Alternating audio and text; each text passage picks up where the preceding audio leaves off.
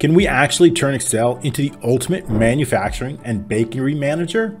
Hi, this is Randy with Excel for freelancers, and this week we're gonna do just that. And it's gonna be an entire complete application with BOM assemblies where we can assemble finished goods from raw goods. We'll also have the ability to add purchase orders, complete with work orders, sales orders, and a dashboard. And if that weren't enough, we're gonna take the entire BOM assembly and we're gonna design it from scratch, starting with a blank sheet, every feature, every function, and every format right before your eyes. I cannot wait, so let's get started.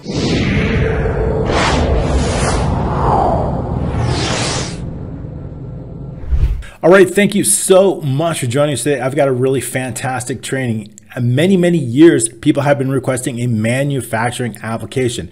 And this week, I've combined it with a bakery manager. So it's going to be an incredible training. We're going to do a large portion of it from scratch, and you will not be disappointed. There are so many new features that you're going to learn in this training. For example, we've got staff resources, we've got a full menu, we've got customer management, purchase orders, we've got raw goods. We can take raw goods. We've got BOM assemblies. We'll be able to add update and create our finished products. And we can have a list of other finished products. It's going to be fantastic. We've also got finished goods, a list of those finished goods. We're going to be able to be pricing them out and of course, we also have our work orders. We'll be able to create new work orders here, adding additional finished goods. If we have a new work order, we have so much to share with you. So if I want to add a brand new, let's say work order, it's going to add all the time and all the information, everything that's needed. If we want to update the quantities of that, we can do just that. It's going to update that. Now, this is not only for bakery, but for manufacturing. Then we'll also have sales orders. We can create sales orders.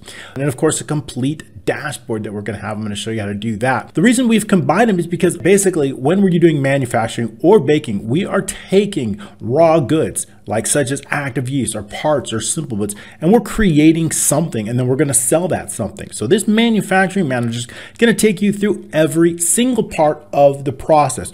We're going to start every part. We're going to start with our raw goods, right? Raw goods are things that you buy and then you create something from it. For example, in baking, we might have things like flour, sugar, butter, eggs, and milk.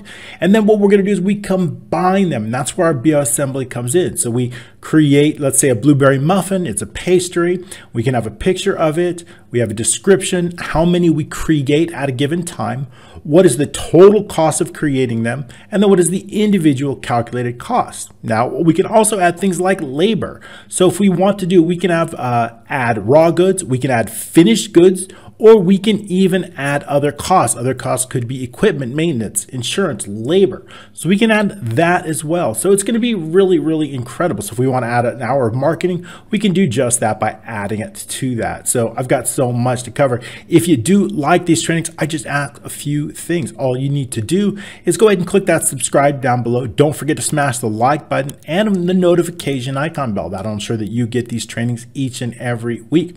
If you do like building these applications, applications, I've got a fantastic course that you're going to love because not only am I going to teach you how to define, design, develop, and deploy your own Excel based applications for passive income. We're going to do all that. And I've got a complete accounting application that I'm including in the course. So that way you have a complete accounting, whatever type of application you're going to be creating, you're going to have that full scale accounting application along with the course. That, of course, is the Excel for Freelancers mentorship program, 132 hour comprehensive course. I've got a great discounted price. Go ahead and click the link below and we'll see on the inside of that. All right, let's get started on this. So this is the screen that we're going to be doing from but I wanted to give you a rundown of this entire application first so that we know what is the point? Why do we create this? Well, the idea is very, very important. Anytime we're doing manufacturing, we have a list of items. Again, as I mentioned, they could be other costs. They could be finished goods, things that you've already created. Maybe we're creating a compilation dessert and we want to add some croissants or something to a dessert. We can do that simply by just adding those. And it's going to add to that total cost. And we can adjust those, of course, those numbers here as well. So the important thing is, is that we want to make sure that we're adding those up together. So if we're deciding that we want to add, let's say some other costs here, let's go ahead and other costs. Maybe we want to add uh, packing or insurance or equipment depreciation or labor or advertising or packaging. Maybe we want to add some packaging Maybe we want to add just uh, 0.25 of an hour packaging. We can do that for labor. And when we add it, we just click add and it's going to add it to the total cost. So we see that here. I'll double check on this croissant finished good. That price should be there. So how do we do that? How do we create this and why, right? So the idea is very, very important, right? We want to be able to sell these finished goods. And we have that in this application. Once we create those finished goods, such as a chocolate cake, we can then go into our sales order, create a new sales order, and we can choose a customer, and then we can choose a sales rep, and we can sell that chocolate cake. So we can easily set a price and just set that sell that chocolate cake. We could sell, you know, more than one or however we want to sell and create that sales order, save or update. However, but it doesn't start with there. We also have to first buy ingredients. So what I want to do is I worked very hard on this application. I want to create a beginning to end application where the first thing we do is buy right items that we're going to make. We've got a dashboard here that's going to show everything else in here. So what we want to do is we want to buy some raw goods. So these are all raw goods, right? We've got a reorder quantity, a minimum quantity. How many do we have on hand?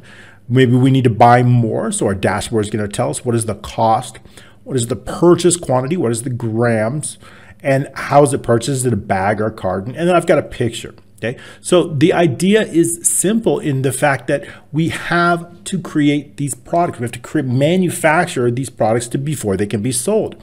So what we want to do is we take these raw goods and we combine them. For let's, for example, let's say we add a brand new BOM and we want to create something like a sandwich bread, right? So we're going to create a sandwich bread and we also want to give it a, what is the type? We can give it a type of pastry or bread here, and we can add a picture. We'll do that later. And we'll just call it sandwich bread for the description. And maybe we're gonna create 10 breads at the same time. And we wanna sell each one for, let's say, $4.50.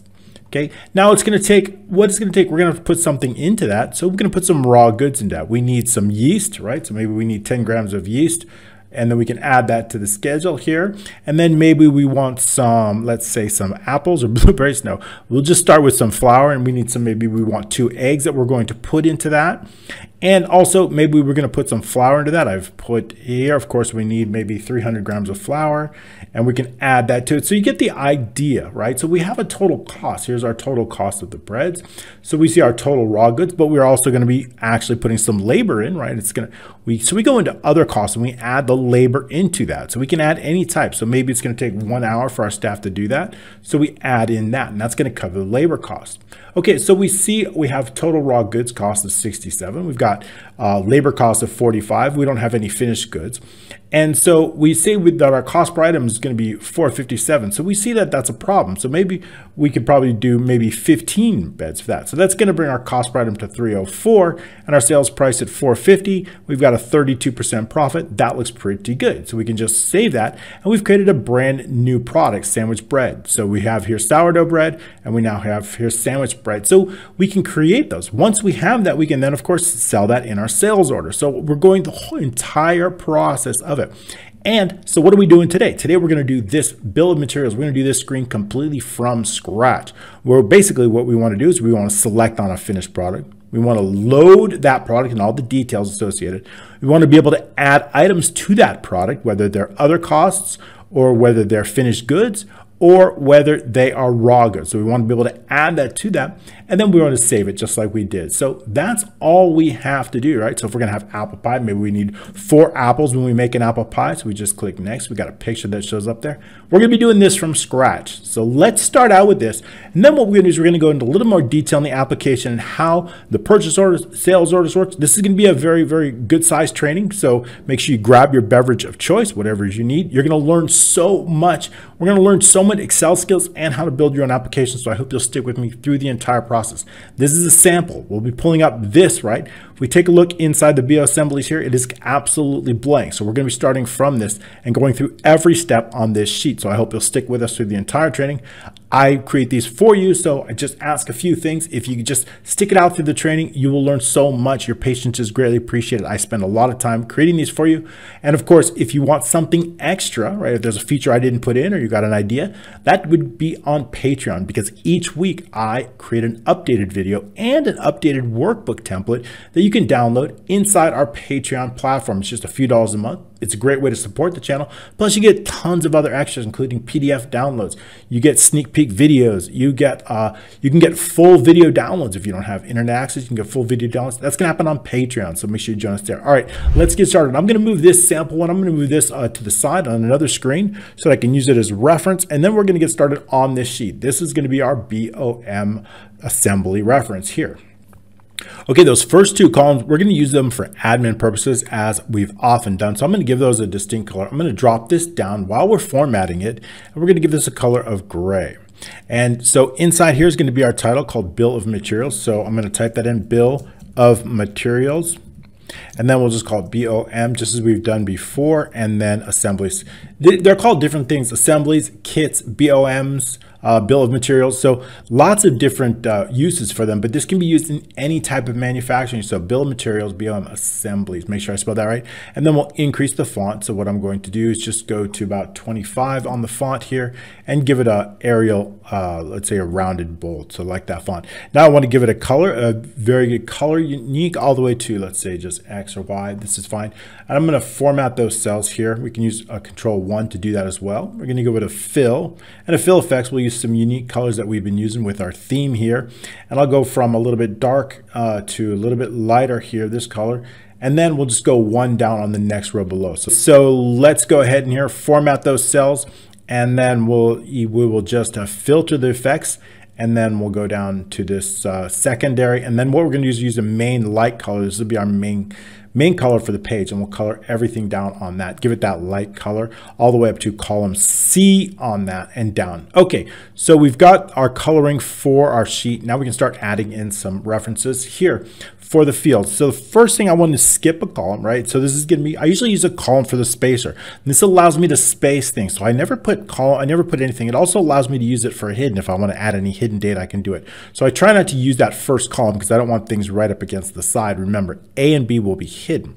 So what I'll do right in about uh, D4 here, I'm going to put what I want. I want finished products. I want a list of finished products. So I can do finished products here.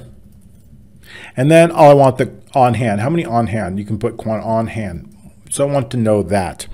And then I'll, I'll, put a list down here. So we're going to add some conditional formatting in here. So this is what's going to be our list. So I'm going to bold that. That's going to be our header there. And then up, I want to color these. Let's do uh, control F1. That's a little bit quicker. And then we're going to give it a fill effects, staying within our theme here. And we'll use this uh, darker color to medium color here. I like that and then we'll also bold it and add some borders around here. So we stick with a, a single border color. We're going to use this border color, and then so we're going to use all the borders around it. We'll add some uh, conditional formatting here, one for alternating rows and another one for the selected row. I'm going again, I'm going to skip a column, and then inside our first column, we're going to put the finished product name. So I want here finished product. This is going to be for the name. So we're going to have the name inside here, H, I, and J. We'll do that. And then inside K, I want to put the product type. So product type here. And then we're going to skip one and we'll go to the quantity on hand. I want to know quantity on hand. How many do we have on hand? I'm going to add a picture here. So I want to add the picture in, let's say O. We'll add picture.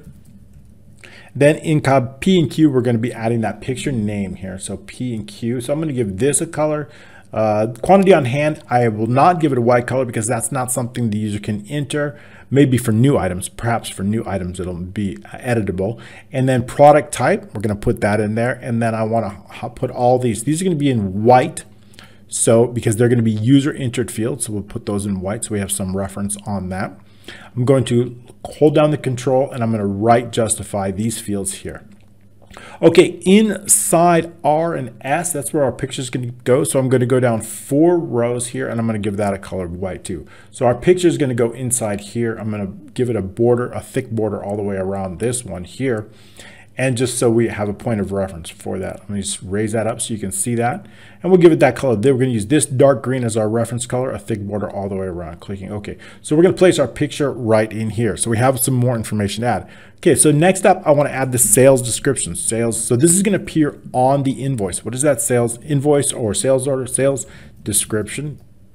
When you sell it, we need to have a description for the, on the sales, and we'll put that as a large field. And then all the way up until about right about here, I want to have the, some more information. So we're going to put total raw goods cost. I want to know what the total raw goods cost is for this. I want to put total other costs. And uh, also I want to know the total finished good cost. That's important. Total finished goods because we can put three different types of items inside our finished product. We can do raw goods, other costs, or finished goods costs. So I want to put all this. And then what I'm going to do is I want to have the cost here inside here. We're going to put that. So that's where I want the cost. So what I'm going to do is I'm going to merge and center this and then right justify these. So we have enough space. So merge and center, right justify these. And this is where I'm going to be putting in. So I'm going to format those cells. And again, I'm not going to color them white. These are all going to be calculated fields. So for I'm going to use a thick border on the down, I'm going to use in the middle and the top and the left. And then we'll do inside the center, this dotted line. Okay, so the idea is to put those calculated values right here. All right, very good. So what else do I want to have? Under the sales description, I want to have the total batch quantity, total batch quantity. And that means how many are we going to be building at the time? When I when I build those through work orders, when I create them through work orders, I want to know how many we're creating. So if we take a look inside the work orders, just so we can go, we'll go back to the home. I want to show you what the work orders creating them, we create those, we build them through the work orders. It is a work order in which we create those.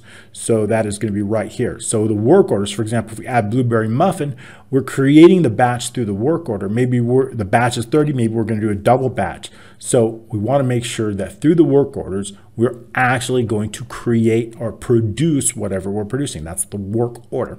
Okay, so continuing on. So we want to know how many we're going to be building. That's going to be right here. Next up, I want to know the total batch cost, total batch cost. What is the cost? And then I want to know the cost per item. So the total batch cost will go here inside J. And then in K, I want the cost per item. So cost per item. That's also very, very important. And the cost per item is going to go in M here. So we're going to merge and center this one. And I'm also going to merge and center this one. These two are going to be the same. And then I'm going to right justify that. Under the cost per item, we're going to put the profit percentage. Profit percentage. And then per item. So that's very important. How much profit are we going to be making? And what are we going to sell it for? So we're going to put the sales price. I want to know that. Obviously, we need to sell it for a certain amount of price. And then next up, I want to know the profit. What is the profit amount per item? Profit per item. That's going to go in here. So inside here, inside here, uh, let's select that here. These cells, these are going to be our fields. So we're going to uh, format those cells. I'm going to do the border all the way around. Not all are going to be white. The ones that are white will be enter those, those in which we're actually entering values. We're going to do the border here. I'm going to do uh, the border all the way around. And then on the left side, we're going to do that dotted line. I'm going to do the opposite on the field. So on the fields here, right here, we are going to do the format, again, format those cells. This time the border here is going to be solid all the way around, but I want to make sure that the dotted line is on the right side. Okay, so the filling, these are user getting entered fill. So only these two in which the user will actually enter some item. They'll be entering the batch quantity and the sale price. So we will add a line up here and that's going to give it that upper border on the top. Okay, it's starting to come together now and around the entire field, we're going to give it a, a thick border on that. So give it a very thick border so that groups everything together. So let's take a look now. We have a finished product. We have some information on our fields. That's, that's going to be for everything. Then once our fields are set, we'll be adding our shapes. So that's kind of important to add them after. Once the shapes go, then the icons go, and that's the order is going to go. Okay, we'll add in the sales description. This is a large field, so I'm going to merge and send to that, left it, and make sure that's uh, colored white. Okay, things are looking good. I'm going to right justify all these fields here. Make sure that there's a dotted line on all of those. I separate, I use that dotted line here, always on the right here, not there, not here. Okay, perfect. That's the way I like it. All right, so this looks good. So we got our finished product name. We've got our product type here. I've got a picture that we'll add here. We'll merge and center this and left justify. That's our picture's name, the name of the picture, the actual picture is going to go in here. Although it doesn't matter, we can merge and center this here, but there's going to be no text in there. We've got all the fields set up just the way we like them. We've got uh, all the entered fields. There's only a few fields in which the user is going to be entering data, so those are all in white. I like the way that, let's put some information in and do the formatting. So let's say we're going to make a raisin bagel. And this product type is going to be bread. Now we want a drop down list and I've got some created already. We've got an admin screen here. I haven't had a chance to show you that yet. We've got some information on that. So the admin screen, we have something called item types here. We have raw good types. We have finished good types. Finished good types is what I want to create. So if I go into the formulas, name manager, and I believe it's under finished good type. All right, it's actually right here. It's not on the admin screen. So I've got a dynamic list. I like this a little bit better because as you as we create more products, we can add dynamically here. So I actually moved it to here. And so product types, that's what we're going to be adding inside our BOM assembly. So we'll go in here inside the data and then data validation here. We're going to choose a list and I'm just going to put no error on that once we do it equals product types.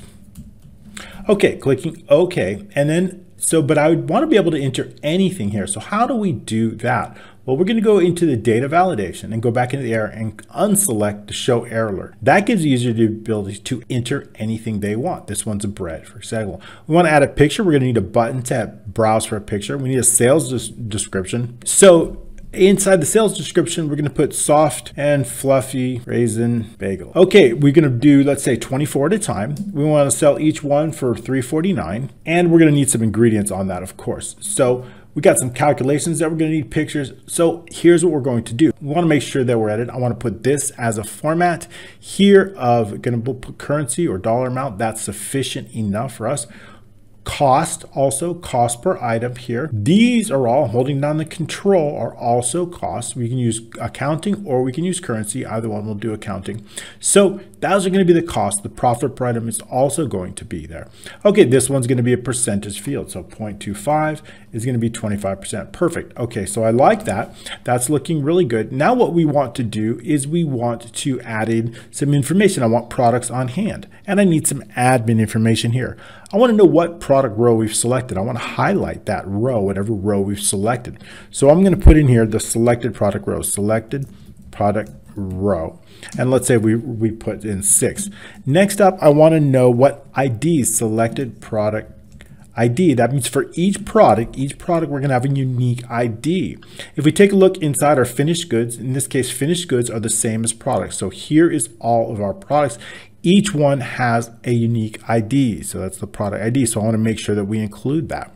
So what is that? So if we put one in here, that's going to be. So I also want to know the row that's associated with that. So product database row. That means, what does that mean? That means when we look on the finished goods here, I want to know what row. This is row four.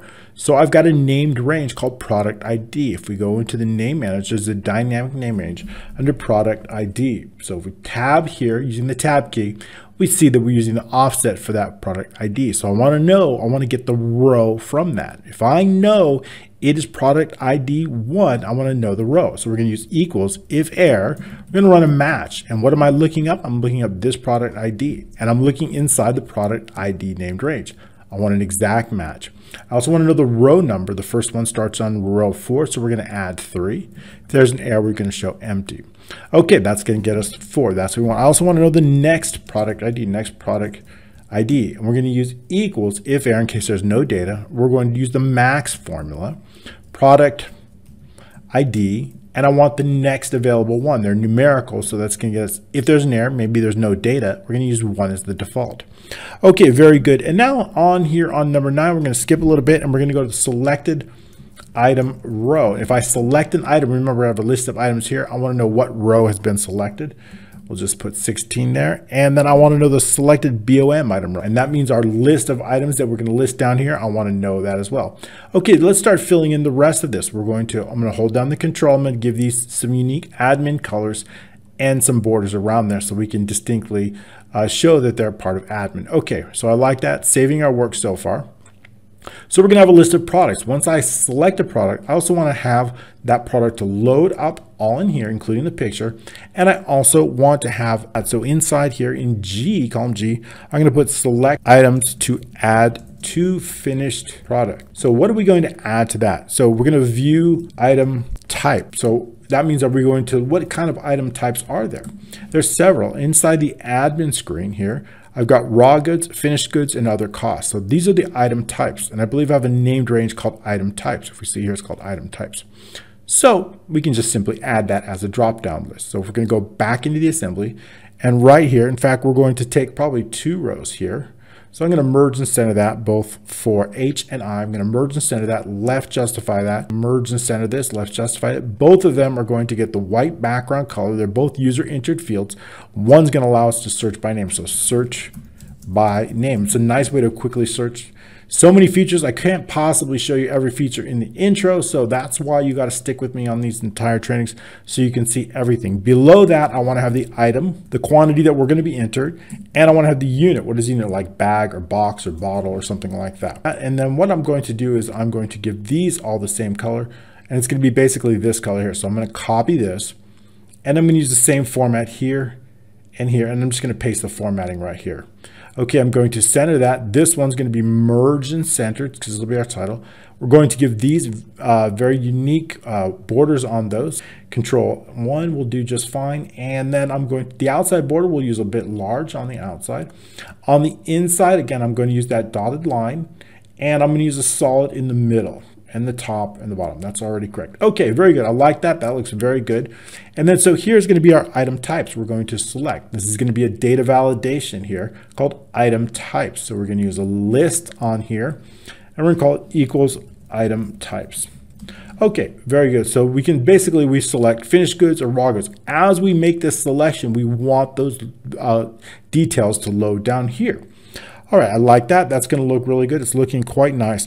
And I also want to have a clear filter button here. We're going to search by name. So if you search by, let's say, flour under raw goods, all the different types of flours will load down here. So I like that. I'm going to skip a column, J, and then here I'm going to add something else. I want BOM assembly items. So BOM assembly items. So they're all going to go here and there's going to be individual columns. The first column is going to be the name. Then I want the item type. Then I want the purchase quantity. After the purchase quantity, I want the unit of measure, we'll abbreviate it, UOM. Purchase unit, what is the unit, such as each or a bag or box?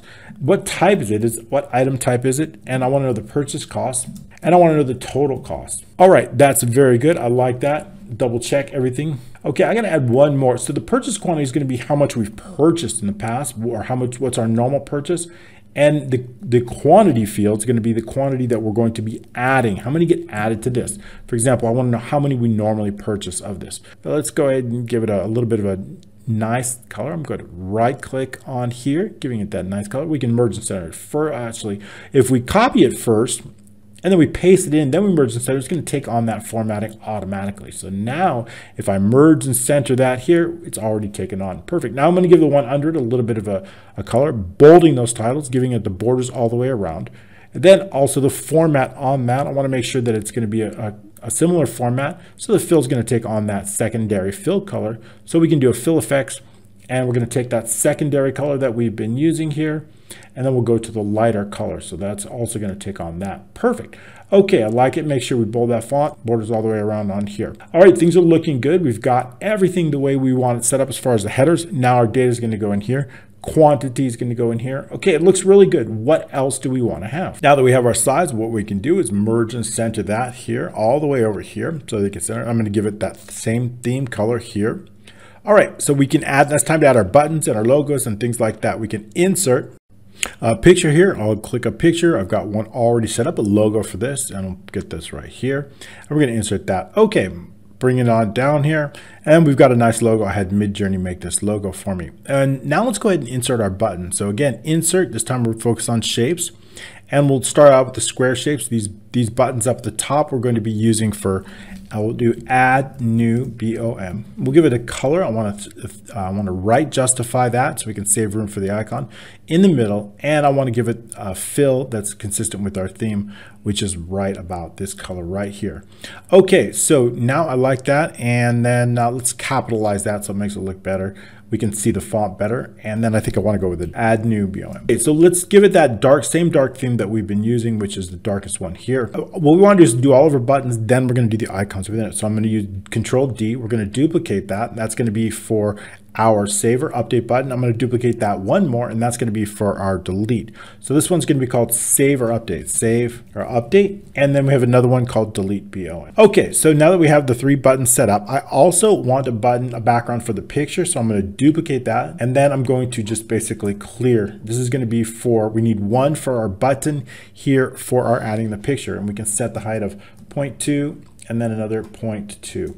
That's going to be for our folder. I'm going to place that right about here inside. We'll put a folder icon on top of that, a folder with pictures so we can add a picture onto that. And then I also want to need one for the clear filter. So I'm going to duplicate that and I put that right about like here. We're going to use that for the clear filter. So I want one more. So we're going to insert, and then I want to insert a triangle here. And the triangle is going to be basically used for adding an item. So I'm going to select here, and we'll just place it right about here and up here and like that. Okay, so we're just going to call this add.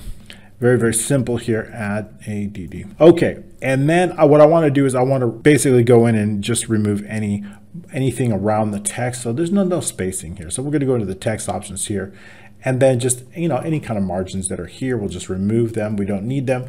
And then I want to make sure it's automatically centered on here, giving it that exact color that we want. And we want to make this basically the same height as the individual cells. And we'll give it a little bit of a 3D effect. So inside the shape format, shape effects, and we'll do the bevel and then this bevel here. Okay, I like that. So it is this one that's going to be letting us know exactly where we want to add the items. Okay, very good. I need one more for the delete item. So I'm going to use control D. If I have an item here and I want to remove it, I need to delete it. So this one's going to be for our delete item. So we're going to add, we have a filter button. So this will clear the filter and this is going to be for the folder. Okay, now we're ready to add the icon. So I'm going to insert pictures here, this device, and we're going to select on the icon. So I'm going to add the add new. We want that clear filter. We want that confirm. We need that. We also need the folder picture for that. We're going to need a home on that and uh, print order that we already have. This, let's say we need this for the remove it, delete, and uh, that looks good. Okay, so we're going to insert those. We're going to make them all 0.2 size, 0.2, just to be a little bit easier. Now we're ready to place. So this one's going to go for the save and update. This one I'm going to use twice. I'm using this for the delete. I'm going to duplicate that. And I also need it for the delete item here, but I want to make it a little bit smaller. So deleting individual icons, deleting individual items is also very important. I'm going to zoom in on that and make sure it's centered. All right, I like that. I'm going to use the selection tool around. I'm going to center it both vertically and horizontally and group it. And I'm going to give it a, a name called delete item. Okay, I like that. Okay, very good. Now this one's going to be for the picture while we're zoomed in. Let's add the picture up here. Make that a little bit small. Again, point one eight because these are small buttons we're just going to be using for the add pictures again doing the same thing the repetition helps grouping them oops grouping them together here and then making sure so that's why it's important to have these tools in the quick and then grouping because you can use a lot of them quickly okay the filter we're going to do the same thing here again making it smaller we'll do this one 0.16 and uh, removing it, bringing it down here, using the selection tool, centering both of them, grouping them. Okay, I like that. That's looking really good. So we're going to call this the add item button. So this, we're going to give it a name called add item because we need to place these. So we've got name and then the home is going to go for our home. In fact, I don't need that. I'm just going to duplicate one that I already have on another one. So the dashboard, let's see the um, purchase orders. I've already have one here. I just want to duplicate that. That's going to send us to the home and we're going to put that here on the upper left side. So we can zoom out a little bit. I'm going to place it right about here. So I'm putting it there. Okay, so that's just going to get us to our main screen here. All right, so things are looking really good. These two, this will be placed as we make a selection, it will be placed. Same with this one. As we make a selection, this is going to place, so we don't have to worry about that. Our new one, we need to add one more, add new one here. Let's bring that icon up. We're going to center that, group it here. We don't necessarily need to name those just yet, if at all. And then the same thing for the delete, we can shrink this button. We're getting our screen, it's looking pretty good in no time at all and grouping that. Now that we have the three buttons grouped, we wanna make sure that we're grouping each one individually and that's gonna help us line things up when we also group all of them together. So the reason we wanna do that is we wanna space them accordingly, line them up, space them horizontally here, and then grouping them all together. Once we do group them all together, we also want to make sure that they are uh, not sizing but moving. So we're going to go into the properties here and we're going to make sure they're moved but don't size with cells. We should pretty much do that with any single button or icon. We certainly don't want to do that. So we can select them all just in case we change it and make sure it's move but don't size. Okay, very good. We're set up with that. We can bring this over here and we'll close it out for now. We'll be using it in a moment though. Continuing on, so what do we want to do now? Now that we have our buttons set up, let's do some conditional formatting. We've got conditional formatting here, here, and here we want to add. So we'll start out with just here. We're going to use three different rules. Uh, one for the odd, one for the even, and one for the selected. So we can select a cell here and then go into the manage rules and we see that there's no cells. We're going to add a new one. We're going to use a formula. It's going to be equal. It's going to be two conditions. So therefore we're going to use and.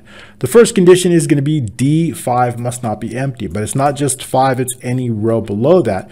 So we'll remove the dollar sign and then it's going to be for even rows. So we're going to do the mod of row 2 equals 0. And for these, I want to give it a format. We're going to use two blue colors. So we'll do uh, a fill effects here. And then we'll do just a, actually a fill color, one single fill color. The reason we're using fill effects is because I want to locate these colors here. That's going to, so the even's going to go to this light. Clicking OK. I want also want to do a border. I'm going to do a left bottom, uh, left and bottom border and right. So probably a dotted line, give it a little bit nicer look. So we'll do the dotted line on the left, the bottom and the right, clicking OK. Now I want to copy this rule because the next one's going to be very similar. We're going to do OK. We're going to add a brand new rule. You can use the formula and we're going to paste, but this time we're using odd rows. So in this case, I want to use one. And we can use the existing background color. That's okay. So that means we don't need to format the background, the fill, but just the border in itself. And so we use the same color and also the same dotted lines on the left, the bottom and the right. Clicking OK and click OK. Also, what I want to do is add a new row for the selected row, and I want to make sure that that's on top, therefore I'm saving it for last. This, our selected product row is going to be based on B2. B2 equals the row. That's going to be our selected product row. I want to give that a very unique color. And the color that I want to do is going to be based on our theme. So we're going to use a fill effects here going to use the this medium to dark color, but I want to make sure that the font also is also bold and white. So we're going to select bold and white for the font, clicking OK. That's what I want to do. OK, clicking OK and OK. OK, so that's what I want to do. Now we need to do the applies to. So we can go back into conditional formatting. And I want this to applies to where. So basically, I can select the applies to here. I want to apply D through E all the way down to a large row. So 999. And we can just copy and paste this and apply it down to each one of the ones that we've created and click apply. Okay, very good. So now as we color rows here, as we add information, we can see the colors. Oops, I need to update the format to these. Actually, this one, I'm gonna give it a uh, color. This one's the same as background, so we'll do darker on this one. I think that's fine. Format that, and then we'll do the fill, fill effects, and we'll do a little bit darker color. So we'll do this color right here. Okay, I like that, the way that that looks and click OK and OK. All right, very good. So now we've got that applied here. We can see the darker colors. All right, a little bit too dark. I just updated it to a little bit lighter. Okay, so it's a nice alternating row. So we, as we have data, it's going to automatically color in. Perfect. Now what we want to do is we want something very, very similar for the others. So all we need to do is just copy this. We're going to paste it right here, and then we can update the conditional formatting. So conditional formatting and manage rules. Now our selected, this kind of, this is going to be a selected item row, but this is not going to be B2, so we're going to edit it. Our selected item row is B9, B9, so we already set that up, so we're going to change that to B9, clicking OK.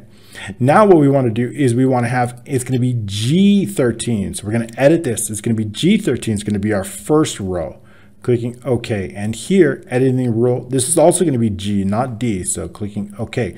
Now the applies to is going to be different, of course. The applies to is going to be here all the way down to, let's say, a large row, 999. I'm going to copy that, and we're going to paste it here and here. The quantity is going to be user entered, so I want that to be in white for any values where there's a uh, value in row G. So we're going to add a new rule, use a formula for that. And what is it going to be? It's going to be if G and any row associated starting at 13 does not equal empty. So for that, what I'm going to do? I'm going to give it a format. I want it white. So we're going to use the border. I'm going to use our color here to wrap all the way around, solid border. And the fill is going to be white. Clicking OK, clicking OK. We'll apply all that, clicking OK. So I want to make sure that applies to G. So we'll go back in the conditional format. It has to apply to column H that's the quantity field. So H and all the way down here to let's say a large row 9999. Okay, apply that. Okay, perfect. So basically, as we enter data, we want to make sure that we can enter automatically everything. So you see how they can then enter the quantity when there's items. And that's exactly what I want. So the only question was, does the selected row, which one takes precedence? The selected row or white? And I would say we go on the selected row. So to do that, meaning the selected row takes precedence, we move it up. Click apply. So now, regardless, it is going to put in there. So now they can enter whatever they want and it's going to show up in that so they know which one's selected. All right, I like the way that that is looking. So we want to add some conditional formatting here. So I'm going to, again, Control C and then Control V, paste it in, and we're going to update the conditional formatting. It's easier to copy and paste so we can show the selected row is going to be based on B10. So we're going to edit that we're going to change this to B10. That's for the selected item row, clicking OK. And of course, we want to apply this to what? I want to apply this to all the fields within all the way through S and all the way down to a large row, 9999. Okay, what else do we do? So I want to copy the applies to, paste it here, and paste it here, but this time it's going to be based on information in column K. So we're going to edit the rule. This is not column G, it's column K. And also the same one for the other one. So for the even row, we're also going to do it here, column K. And that is as we add data, it's automatically going to be selected. Okay, clicking applies to and clicking OK.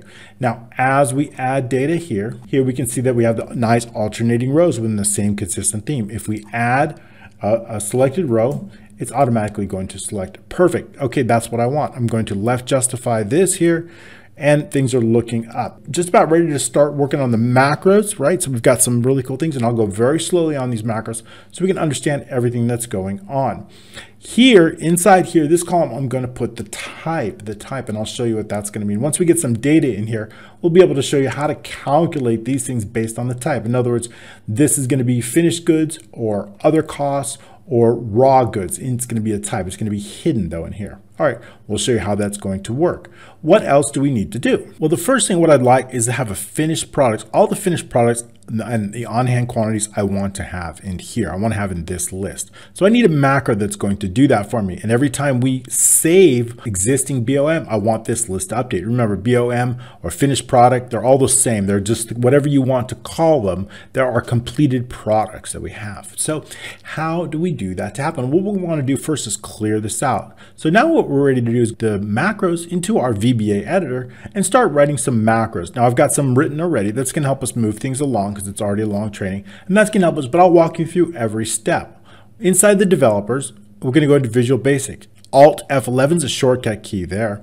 And what we want to happen is I've got some macros here. This is our sample. I've got two workbooks open and we've got some modules here. So we're going to go into the BOM sheet map macros, these are the ones that are going to list for the sheet. We have a clear filter, one for the clear filter button. That's going to clear everything out. And we've got ones, but the first one I want to focus on is adding items to a list, adding these finished products list. So when do we want that to happen? That is particular one is going to be located in our BOM record macro, and it's called finished product list, finished product list.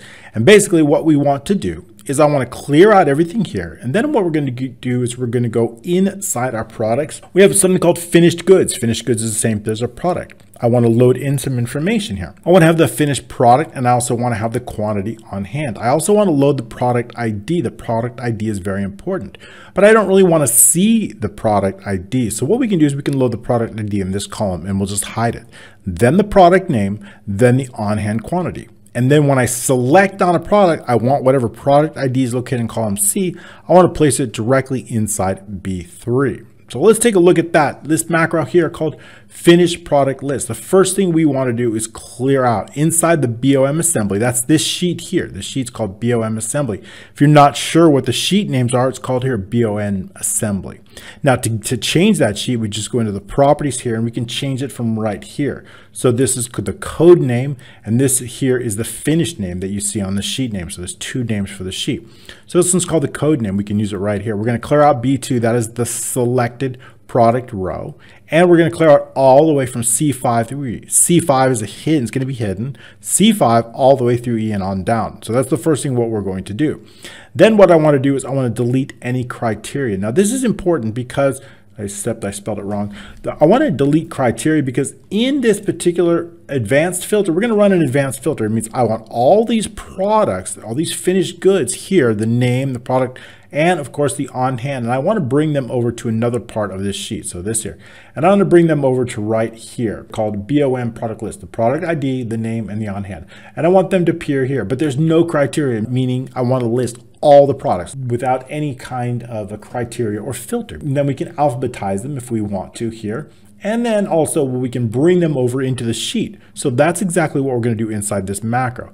But first we need to determine the last row of the sheet. The last row is 17, so we need to determine that. That's a long variable. If it's less than 4, that means we have no data and we can exit the sub. We're going to run that advanced filter with no criteria. See how this is blank in here? There's two commas, there's no criteria. So we want to make sure that if there's any criteria on the sheet, we're deleting it first.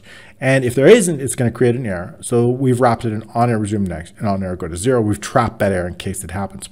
So I'm going to go all the way to column K because our quantity on hand, we need that information. And I want those results to appear directly inside Y2 through Y3, Y2 through AA, excuse me, AA2. Bringing that all the way over here. So Y2 through AA2. We're going to determine once the results get here, I need to know the last row. If it's 17, I need to put that in a variable last results row equals y end up. This is if it's less than three, that means we have no data. And then now I want to sort them alphabetically. Sort them alphabetically using uh, A, Z here. Uh, column Z, we're sorting them alphabetically. Z3 is our column here. When we sort on ascending alphabetically, the range that we're sorting Y3 all the way to the last row, and then we're going to apply. So this here will sort it alphabetically. Once they're sorted, what I want to do is I want to bring over the product list into our into our BO assembly sheet, into the BO assembly, range C5 through E, and the last row plus 2. Our starting row is C5. Our starting row here is 3. So that's why we need to add 3, because we're bringing it into starting in row 5. So we're going to bring that in. Once we bring it in, what I want to do is I want to look inside here. If there's a value inside B3 and the product ID, let's say product ID 1 is, is right here in C5, and I know it's found on row 5, I want to take this B2 and I want to put 5 here, like this, because I want that selected row to show up for whatever product has been selected. So that's what we're going to do. If B3 does not equal empty, that means we have a selected product ID. I want to automatically mark that product here. Whatever product is showing, in other words, whatever product is showing here, it's going to be the ID is going to show up here. And I want to automatically select that. It means highlight the line by putting the row in here. So that's what we're going to do right now. So I'm going to update B2 with whatever found ID. So B2 is equal BOM assembly we're looking inside C5. We're looking in column. I'm looking. What am I looking for? I'm looking for whatever's in B3. I'm looking for that product ID. If it's found, I'm going to extract the row that it's found on. And where am I going to put that row? I'm going to put it directly in B2. So when I run this macro here, that's exactly what's going to happen. So you see one was found. It looked in here. It, it, it, looked for this B3. It found it. It found it on row 5 and it see, row 6 and it placed it directly that row right here. So that's how it's found. So it's found it on that row and it put the row that it found it on in B2. So that's how we have it. But I, I don't really want to see these numbers. I really don't want, I, I want to hide them. So what I'm going to do is I'm going to get, go into the home and I'm going to change the format. And I'm going to do this a few times. And I'm going to change it to two semicolons or three semicolons. If there's any text or letters, we would need three semicolons. It's going to be a custom format, but we can use two in this case. Two semicolons, clicking OK. Now they're still there, but they're hidden.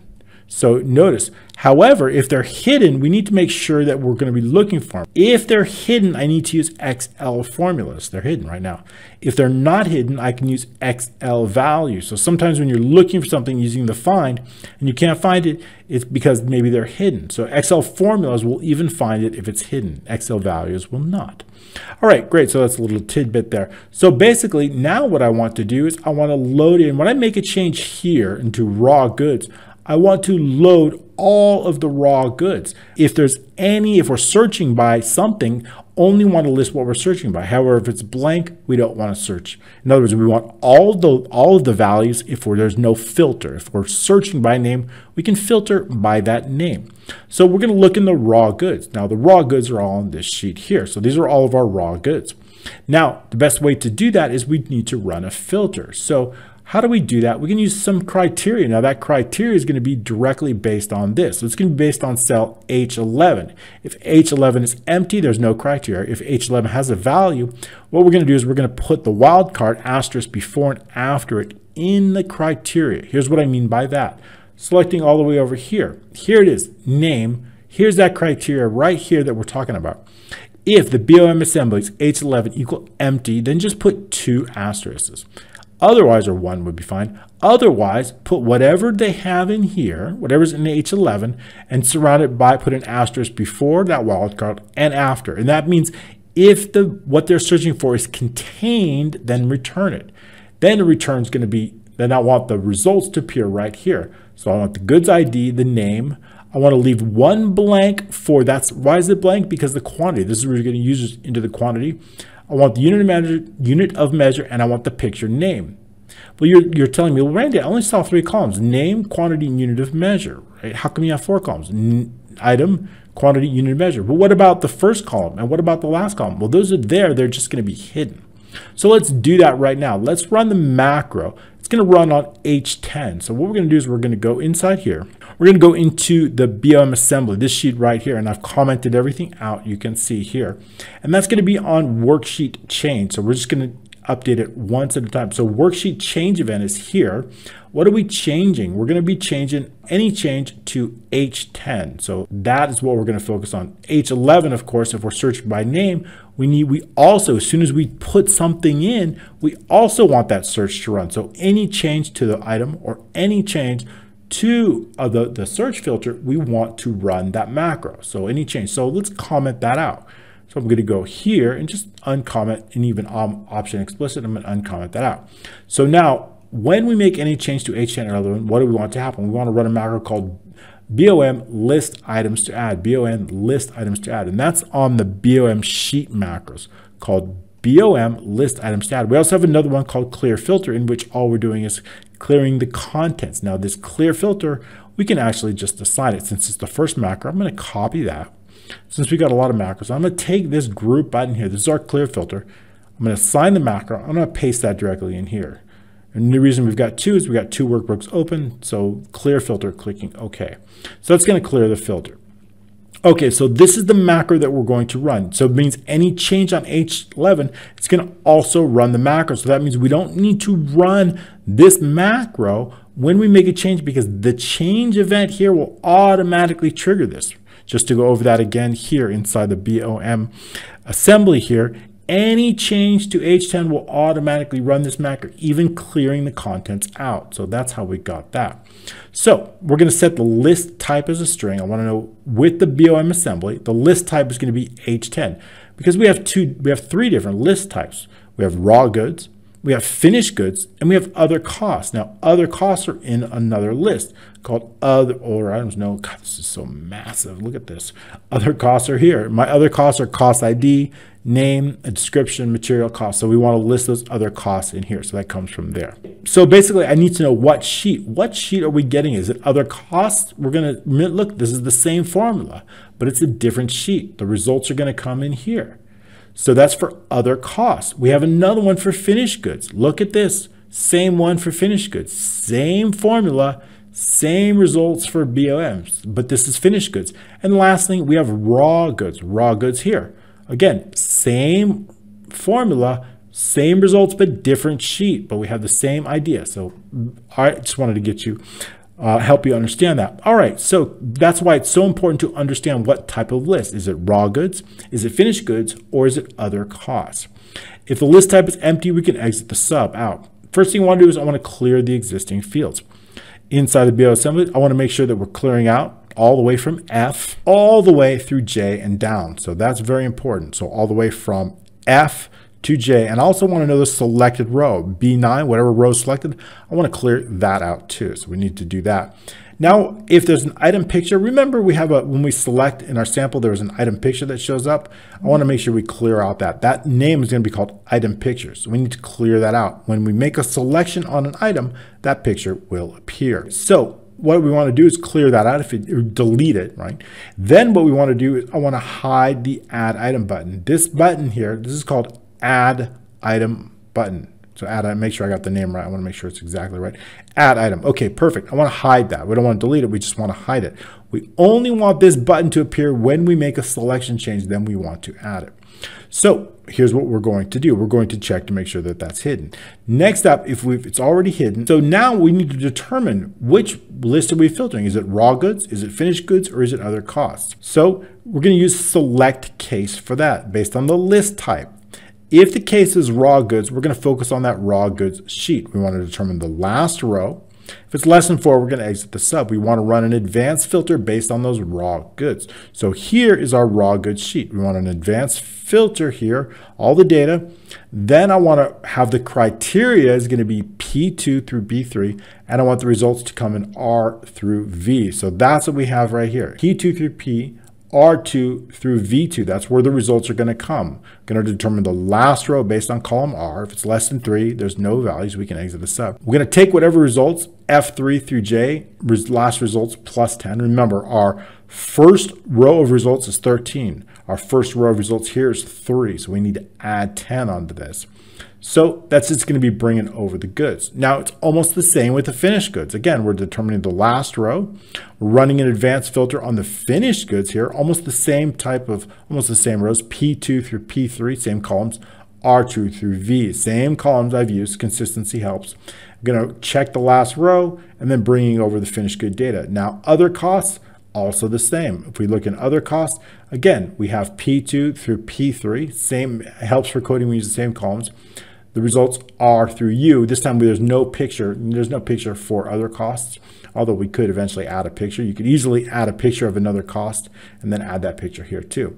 Keeping that column blank. Here's one thing I want to bring to your attention. When the results have a blank column, your original data must have a blank column must. So that means when our advanced filter must go to column G in this case. So let's take a look. Must go to column G. Our advanced filter must go to include a blank column because our results include a blank column. Our results include a blank column because it's easy to bring all the data over in one motion, one line of code, because our results have a blank column. So if our results have a blank column, it's easy to bring it over. Okay, so now that we have that, we know what we're doing. We're going to bring all that information. That's for other costs doing everything else. And then also I want to sort the list. So now I'm going to sort it. I want to sort it based on the item name. So whether it's finished good, whether it is a raw good, or whether an other cost, I want to sort by name. But we want to make sure to include in the sort those hidden. These are going to be hidden. And this is going to, the picture name is going to be hidden all the way from F through J. So we're going to do a sort based on that. We're going to clear all the sort fields out. And then what I want to do is make sure that we are going to add a key. It's going to be based on G13. That is the first item here, and it's going to be based on name. We also want it ascending, A to Z. And then I want to sort the range F all the way through J. We're sorting, setting that range, and then applying that sort. Great. So that's going to happen when we make a change to items. So if I were to change it, if I double click this just there alone, it's going to automatically add that because flour is the only one we had. So if we clear that filter, it's going to load all of them up. Okay, very good. I like the way that looks. We're going to look. We've got some additional conditional formatting here we do not need. So let's go ahead and take a look at that. In fact, I want to make sure that there's no rules that we have. It doesn't look like. And I'm going to go into the conditional formatting. I'm going to manage rules because there's some inconsistencies. Sometimes when we copy and paste, we easily get, it looks like we've got some duplicates, which we don't need. And so we can just remove those. Let's take a look at, uh, oh, let's make sure we select on only the columns. I want to make sure I don't want to select on column K because that's for a different type of conditional formatting. Okay, it looks good. I'll just double check the applies to to make sure we're all on the same page. All right, it looks good. No additional ones. We can just color those cells to make sure that they're colored the same as our background color, which is this color here. Okay, it's looking pretty good, but what I want to do is I want to hide these I want to hide these. Let's uh, bring this down a little bit so that it's consistent with the rest of the rows just here. And I'd like to hide those columns. I don't want to see the item ID. I know that they're there, but I don't want to see them. So how can we do that? We're going to use, again, that same formatting that we've used before. But this one's text. So here I'm going to just hold down this one here. And we can use the same thing. And I'm going to use the control. And I'm going to go all the way up on this one right to about here. Go into the home. Remember, this is the ID, this is the picture. They're there, we just don't want to see them, but they're there. I'm going to go into the more number formatting, and because this contains text also, I'm going to use three semicolons on the custom. Clicking OK. Just remember, we know the picture's there. If I select on any type of field, we see that the picture apples PNG. Okay, great. So what do we want to happen? When I make a selection on here, I want a few things to happen. One, I want the selected row to go directly inside B9. Two, I want the add item, that button to appear, and I want the picture to appear below it. And that's going to happen on selection change event. When I make a selection, as long as there's a value inside G. So how do we make that happen? Well, that's on selection change event. So let's go into our file here. We're going to go into the assembly on the sheet, and it's to be a selection change event. Okay, so what kind of selection change event? We're going to focus pretty much starting with G through I, G through G13 through I. So I've already written some code G13 through I. So I'm going to comment this out here, all the way selecting here and going up here. So as I comment that out, it, of course, it'll make it activated, which is good. That way I can show you one step by step at a time. Okay, uncommenting out. So now when we make a selection, G13, we want to make sure that F isn't empty, right? F is critical because that's where our ID is located. Our ID is located right here. This one's 18. So we want to make sure that F contains a value. B9 is also going to take on that target row. Remember, B9, we want that select item row. So that's going to trigger that conditional formatting. Also, what we want to do is we want to have, remember the item picture, I want to delete any item picture that might exist because we want to add a brand new item.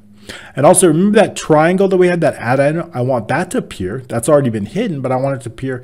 And I want it to appear in column J and on the target row. So that's where I want it to appear in. So focusing on this add item, that shape, the left position is going to be on J, a little bit to the right. And then the top position is also on J in the target row, and then going to show the value. Okay, great. So that's going to do that, but I also want to show the picture if it's available. So how do we have that picture? Now I've got the pictures already located in a folder. So if we take a look inside this folder, pictures, they're all here. All the pictures are located here. So apricots, apples, apple pie, right? So they're all here inside this folder. So what I want to do is I want to map this. So I've taken this folder, this entire folder here, if we bring it all the way over here, we see that entire folder path, and I'm going to put that directly inside our admin screen. So if we go here and we go back to admin, we see that this folder path is here, pictures. So I want to put that, that's the item, item, we only need one item, item picture folder. Okay, so that's going to be for all of our items putting that there. So if we combine this folder, then another backslash, plus the name, and the name is located inside here, inside column J, if we combine all that, that'll give us a full file path to the picture and we can display it. So that's what we're going to do right here. Add picture if applicable. If J and the target value does not equal empty, that's where our picture is located. And we've created a named range called picture folder. So back inside the admin, if we select on here, we see there's a name range called picture folder. So if we combine that named range with the name of the picture, we can get a full file path and we're going to call that into a string. So we're going to dimension the picture path as a string. Now that picture path, full picture path is based on that picture folder and a backslash and the name which is located inside column J. Now that we have the full picture path, I want to make sure that it is accurate. So if the directory of the picture path doesn't equal empty, then what we're going to do is we're going to insert that picture and we're going to put the give it a specific name called item picture. We do not need a, unique name for every different item because we're only going to show one picture at one time. With shapes item picture, we're going to lock the aspect ratio. We're going to set the left position to J and the top row, and we're going to set J and the row one down, meaning the top position is going to be one row down. Why? Because the add item is going to show in the same row. So we're going to drop one row down and we're going to show that picture. We're going to give it a very specific height of uh, 50 or a width of 50. That just sets the limits to so it doesn't go too bad, too too large. Okay, so that all that happens on selection change of G13 to I99. Let's check it out and take a look and see what, how it happens. If I select on here and we want to see it, let's go ahead and activate that. And that's on the selection change event. So we do have to activate that selection change, which is right here. And we go down and we have to activate the end sub right here. So the, all those are important so that it's actually activated, right? We can't just activate the inside. We actually have to activate the event here, selection change. So we go back in here, we select on something here. Let's take a look now. That's looking pretty good. That's exactly what I want. So we have the picture. We could probably drop that picture down a little bit, right? So all we do is going to set that. Let's go ahead and set that position. The top position for the picture, let's add two pixels onto that. All right, so it's a little bit not right on that. Okay, I like that. That looks really good. So now we have the pictures. And now what we want to do is we want to get the assembly. I want to be able to add items to this. When I click here, I want those items added to our BOM assembly. So how are we going to do that? I want to look to see if it's already been added. If it has been added, I'm just going to double up the quantity or however much quantity. But I want to check to make sure that the user has entered a quantity. So if we add 20 grams of almonds, I want to make sure that the 20 appears here. And we want to check if almonds are already here, we're simply going to add 20 to whatever is there already. So we're going to check that out. have that happen? That's going to be on a macro called add item. That's the macro that we're going to tie to this. So that's going to be in our BOM sheet macros. We've already covered this. The next step is called BOM add item. So it is this macro, if I right click and copy that, that we're gonna add to our add button. So I'm gonna assign that macro, and then we're gonna paste that directly in here, clicking OK. All right, so now we have the macro. So what does this macro do? We're gonna dimension the item database row as long, and that's very important because depending upon the item type, I need to add more information. I need to add the type, purchase quantity, the unit purchase unit. I need to add all this information. And that information, for example, for raw goods is found here on the raw goods sheet. So all the, the quantity on hand, the unit of measure, all that's found here. So we need to make sure we're going to be adding that too. Okay, so let's get back into it and take a look at that macro and see exactly what's going on and how we can do that. Okay, the first thing what we want to do is I want to clear the selected BOM item row. I'm going to clear the contents of B10, right? I want to make sure that we take any selected row that might be here and clearing that out. So B10 gets deleted like that and it clears out that selected row. Okay, to do that, I also want to make sure that we have an item, right? If B9, if there's no no selected item here. If B9 doesn't have a number, then we don't know what item has been selected. So that's very important. We want to make sure if B9 is empty, then we're going to let the user know to please select uh, an item, making sure that we have that. If B9 is empty, let the user know, please select an item to add to the BOM. We're going to exit the sub out. Then we're going to assign a variable to that called select an item row. That's a long variable. That is the selected item rows. Once I have that, I want to then make sure that they've added a quantity. If I look inside column H and there's nothing here. We need to let the user know to please enter a quantity.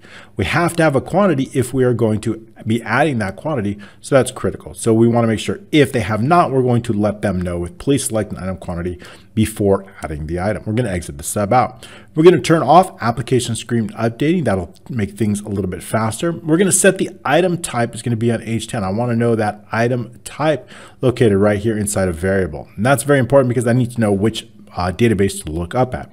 The item ID is going to be inside hidden to be in column F. I want to pull whatever column F is, that's the item ID.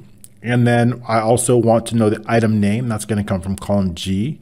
The quantity is going to come from H and also want to clear the item quantity. Once I've put that quantity, I want to clear it out. In other words, we're going to clear this out once we have that number inside a long variable. So we put that there. Okay, great. I think item quantity should probably be double, right? I think so. Item quantity is double. Good. Double because they might want to enter 1.5 double, you know, so long is double is better. So we did define that as double, which is what I want. Okay, so now what we want to do is I want to determine the item row. We're going to check if it has already been added. So that means if almonds are already here, I want to find almonds here and I want to add it. So how do we do that?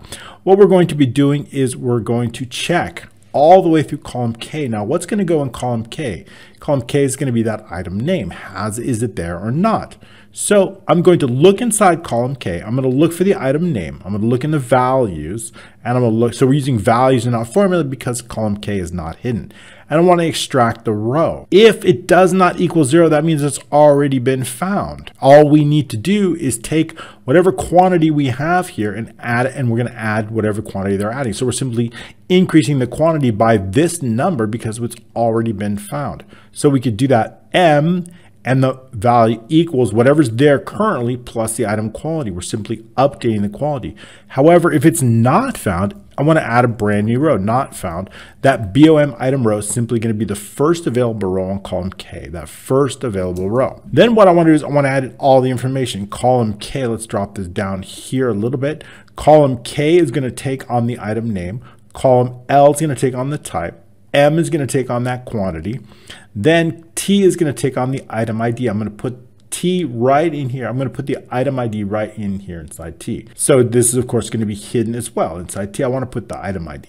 All right, so now that is only for new items. So what else do we want to do? I want to use select case. I want to get that information. In other words, regardless of the item type, whether it's a finished good, a raw good, or another expense, all this information is going to be put in regardless. However, beyond this, it's specific to the item type. Well, what if it's raw goods? We're going to use select case based on that item type. Then what we want to do is I want to find the the database row based on that using the item ID. That item ID is very important here, and that is why we've added it in here. So we need to know that we've already isolated that item ID in that variable here.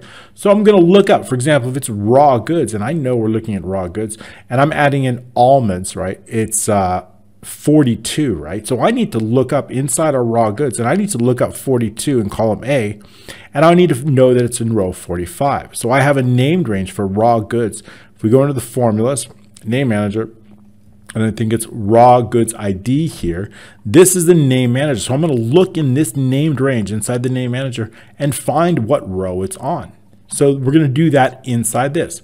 The item database row is located based on the raw goods sheet we're looking in the raw goods named range. I'm looking up for the item ID and I want to extract the row. As long as it's found, meaning it's not equal to zero, then what I want to do is I want to take all the purchase quantity, the unit of measure, the purchase unit, the item type, and purchase cost. I want to take all of those things from this database here in whatever selected row, and I want to place them directly inside our, the information here. And that's going to include the purchase quantity, how much we normally purchase it. That'll go into column N as in Nancy. I want to take the unit of measure. That's going to go inside O. The purchase unit, that's going to go in column P. The item type inside column Q. And the purchase cost inside column R. And then, of course, the total cost, we're going to have that as well. The total cost will be a formula based on that. But that's if only if it's raw goods. If it's finished goods, we're going to do something very similar. But this time I'm going to extract the item database row based on the product ID. We're looking in the item ID and I'm going to extract the row from the item. Let's do this uh, finished goods row, make it a finished goods or product. So now that we have that, we're going to extract, and this time we're going to set the default purchase quantity to one, right? We don't know what the average is. We also want to set that's going to be O is going to take the unit of measure. That's going to be nothing. We're just putting that blank because there is no unit of measure for these particular products. Purchase unit's going to be in P. We're just going to put in each and then the item type is going to come directly and the purchase cost, those are going to come from the database.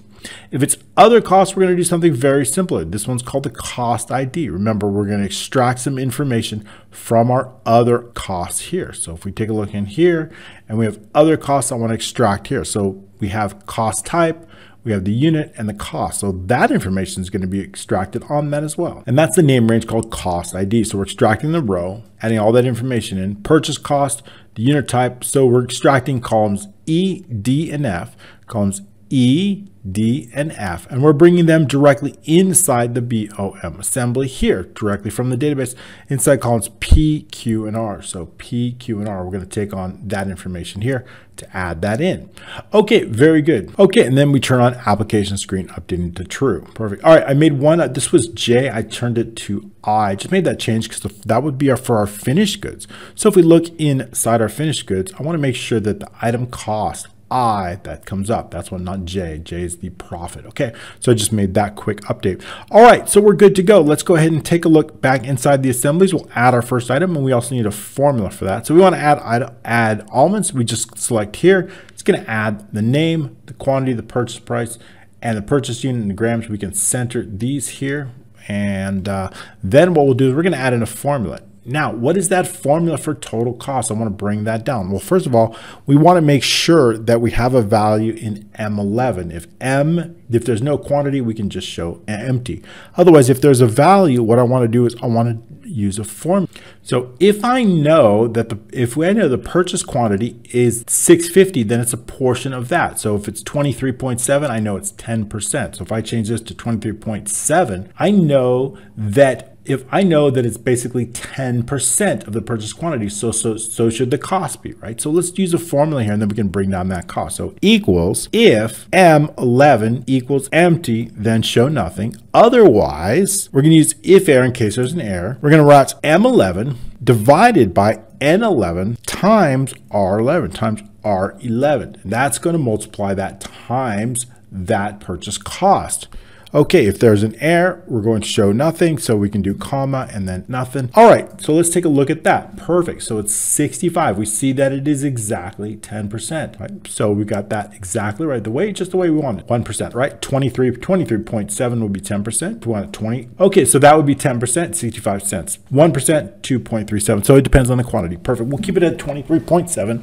So we see that it's 10% of the cost. We know we're purchasing 237 for 650. Uh, so 10% of that would be 65 cents. Perfect. So we've got the total cost based on that. And as we change this quantity, so does the cost. If I change it to 237 if we bought a, if we're using a full bag in the recipe it's going to also change to 650 let's set these costs equal. I want to make sure that they're both either currency or formatted here.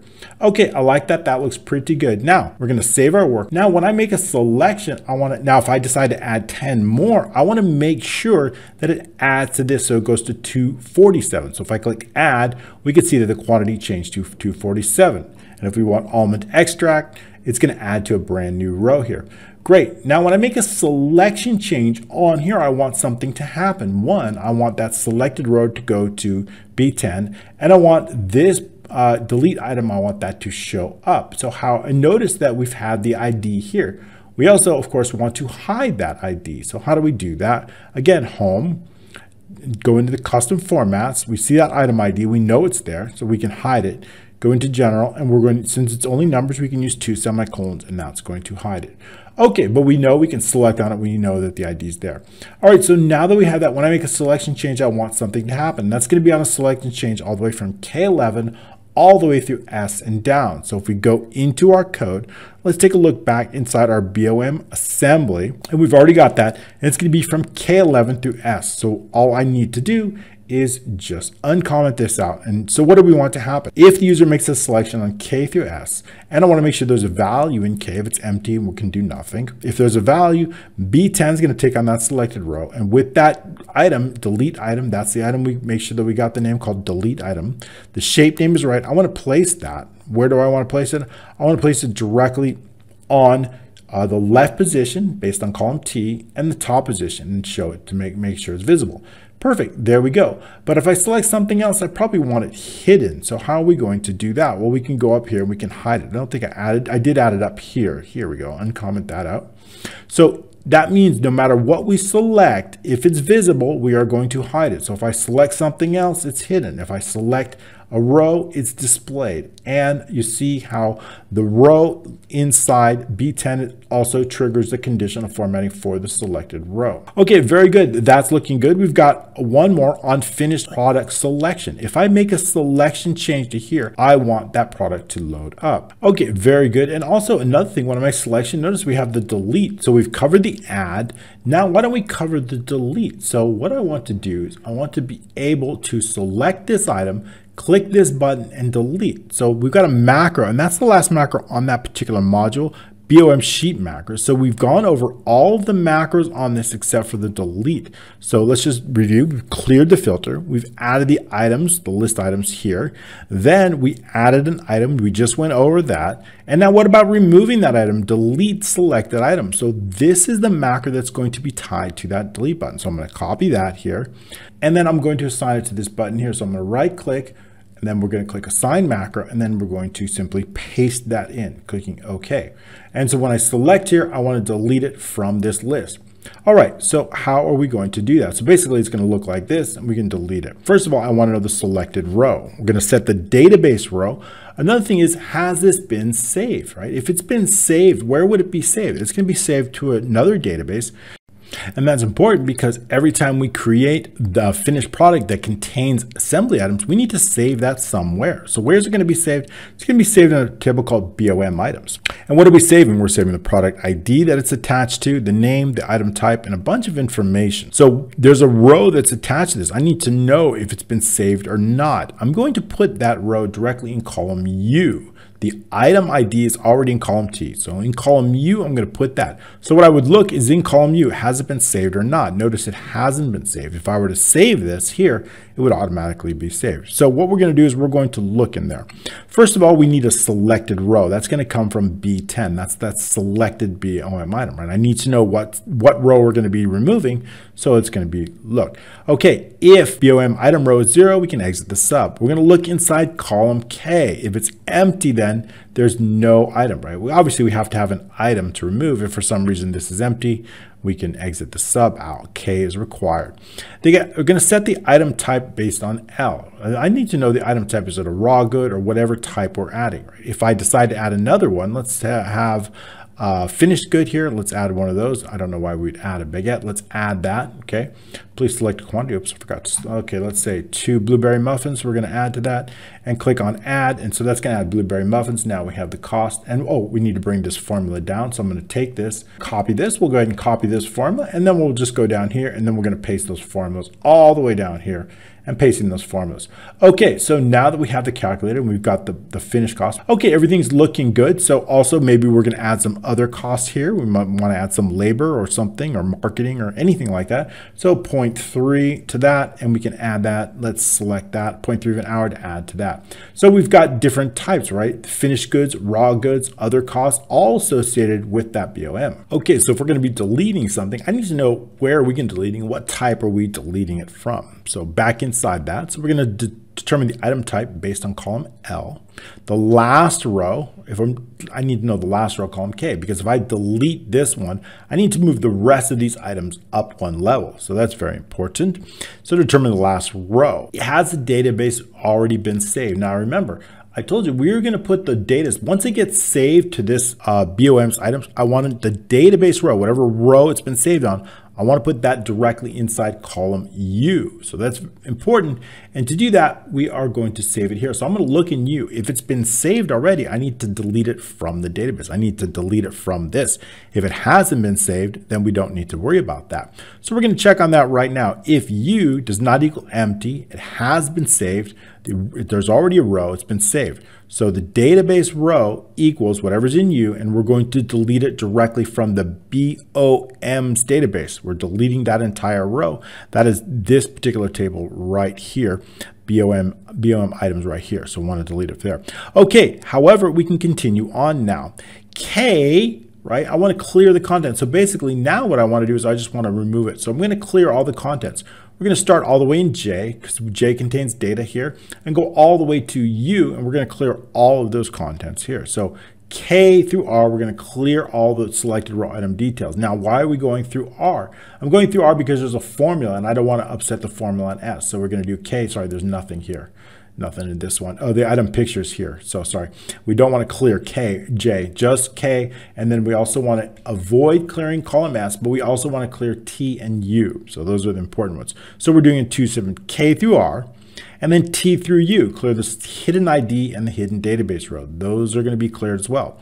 Now we're going to determine if the last row equals the BM BOM item right. In other words, if I'm deleting this one, there's nothing left to do. We can just delete it and move on. However, if I'm deleting this row, I need to take these rows and I need to move them up a little bit. So if the last row equals the item row, then we can just exit the sub. So if it's not what we're going to be doing is I'm going to bringing up all the values. So K through R minus one equals K through BOM item row plus one through R. What does that, what does all that mean? We're moving the values up. So basically, let's say we clear this row out here. I'm going to take the, the selected row plus one all the way to the last row. We're going to copy those, kind of like copy value to value and bringing them up row to the selected row all the way to the last row minus one, which is this. So basically we're doing a value to value exchange from these and bringing them up one row. So that's all that does. And we just need to do it twice. So we're going to do T through K through R and then T through U. Then I also want to clear the last row, right? Once I've brought, once I brought uh, these two last up here, we want to clear the last row. So we're just going to clear because this would be a duplicate. So we're clearing out the last row. So that's going to clear the last row in the hidden database, K through R and then T through U.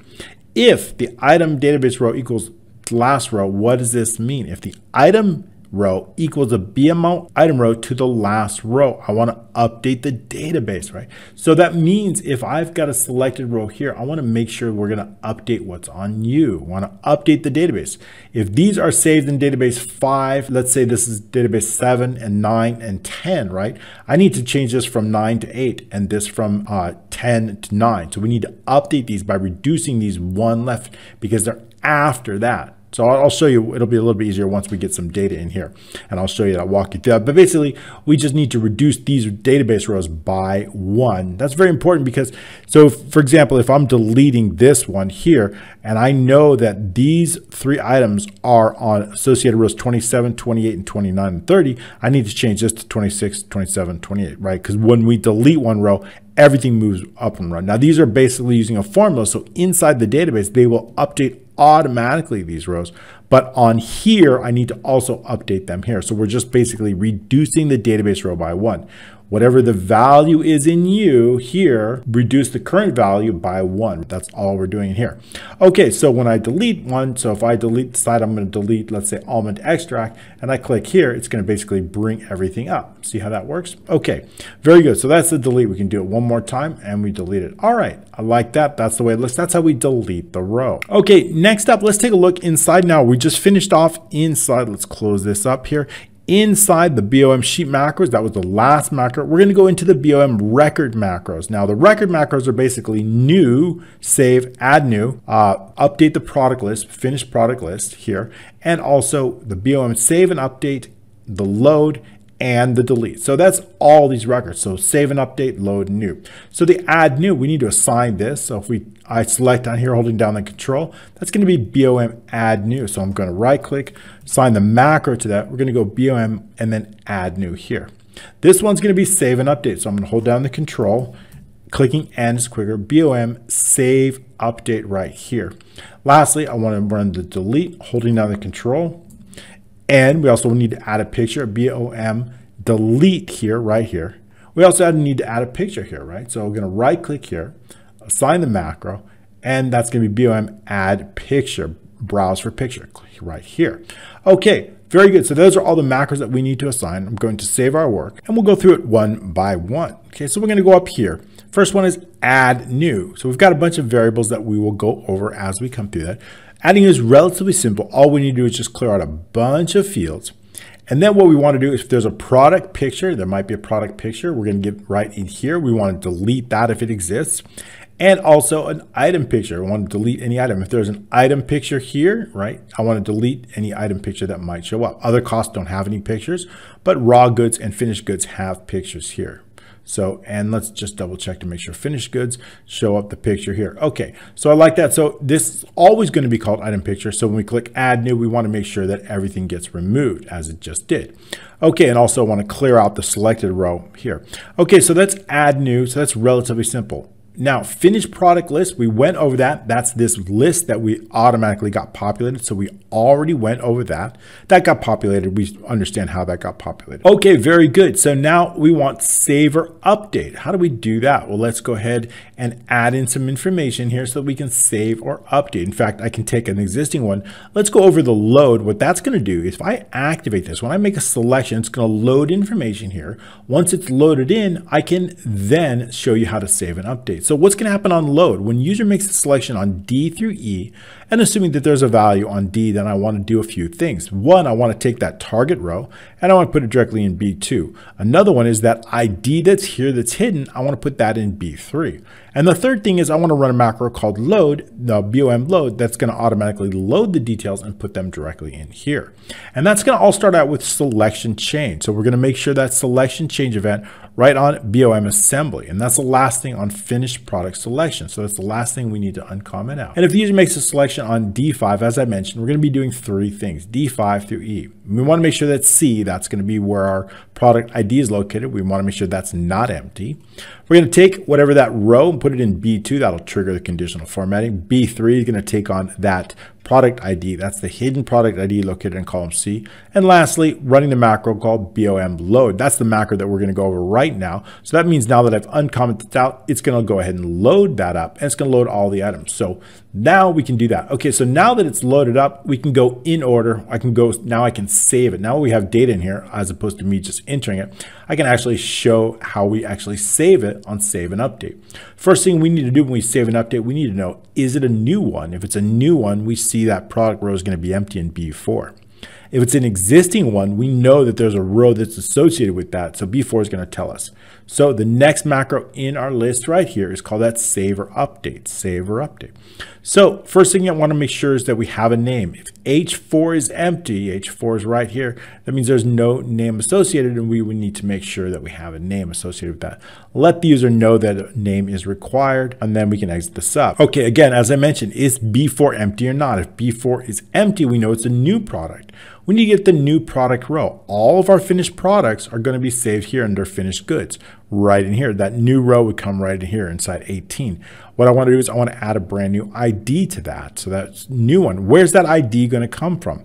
It's going to come from right directly here, that next product ID we use using the max formula. So that's where it would come from. So we're going to set, determine the first available row. We're going to set the next product ID. First thing I'm going to do is take that next product ID and put it directly inside B3.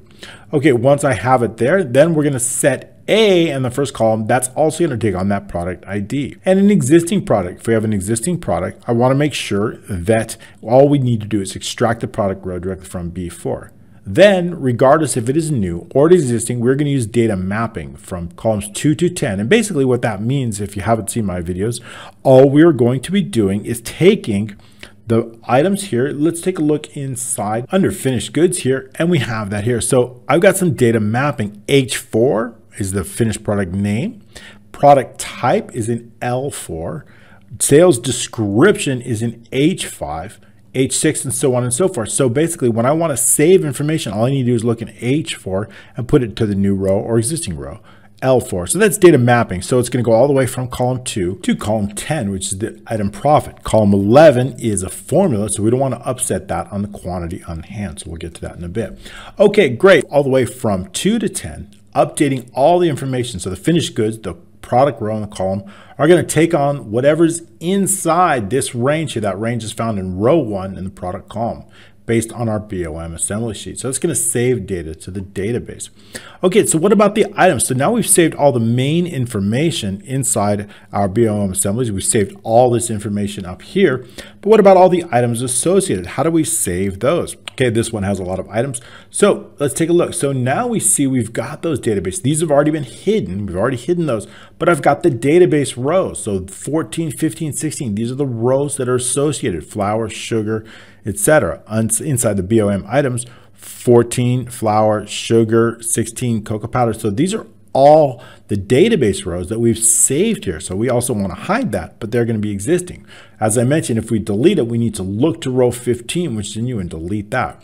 And we can hide this column as well. So going into the home, again, custom, more number formats, using two semicolons in a custom, and that's going to hide it. So two semicolons, clicking OK. All right, so we have that it's now hidden. We know the database are there. So we want to make sure to save our items. So for saving our items, I'm going to look all the way to the last row. I'm just to, I'm to go back for one second. But I'm just to go back to general. And then what I want to do is I want to, because I want to show you something, I'm to add, let's say we added some more, let's say, let's say I want to add some other cost to this. Let's say I want to add some marketing and 0.25 to marketing, okay, and click add. So we've added some marketing. Now, if you see there's no database row that's associated. So what I want to do is I want to go from the first to the last row, determine the last row. Then I'm going to look here. If it's been saved, I'm going to take whatever is in here and I'm going to update row 14. If it hasn't been saved yet, there's no, I'm going to assign a brand new row and then save all this information. As soon as I hit save update, it's going to do just that. It's going to assign that new row 31 and that's where it's going to be assigned. So that all that information got assigned to that brand new row on 31. So that's going to be save and update. So that's how we do. So we're going to determine the last row. I need to know the last row. In this case, it's 22 so that we can loop through the rows. If it's less than 11, there's no items for item 11 to the last row. So we're looping from 11 all the way through 22. We're going to check to see if first thing is has it been saved. U will tell us that. If U equals empty, then it's not yet saved. So we need to do a few things just for those new items. Determine the first row. And I also want to set that item row in column U. I want to take that row and I want to put it right here in column U. So that's important inside the database column, A is going to take on that product ID. So we're looking, that's only for new items. So inside the, the finished goods here, let's say the BOM item, sorry, inside, I want to put that product ID directly inside here. So we know the product ID in column A. I also want to do the, the item ID, and I also want to do uh, the uh, database row. So these are the three things that we're going to do, but only for new items. So that's what we're going to do in the next line of codes. L is going to take on the database form. Actually, the product ID could change in case we switch products. The product ID could change if we change products, but the row won't change. So in column L, we'll take on that. That's it. Else, we're going to simply extract whatever is the existing. This is for existing items. I'm just going to extract the database row from column U, and this is for existing items. Okay, once I have that, all I need to do is then just take everything, copy everything here, and then paste it directly into or value to value and bring it directly in here. So the name all the way over to the item ID all the way through K and just bring it in one line of code. So that simply means B through K, whatever row, equals whatever is equal to K through T. And that's just what we did here.